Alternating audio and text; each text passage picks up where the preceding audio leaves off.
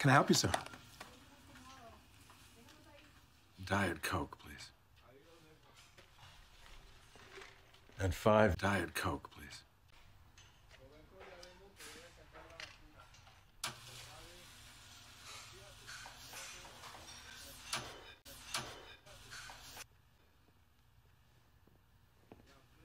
What can I do for you? Have a seat. Please. I sat here yesterday, waiting. Diet Coke.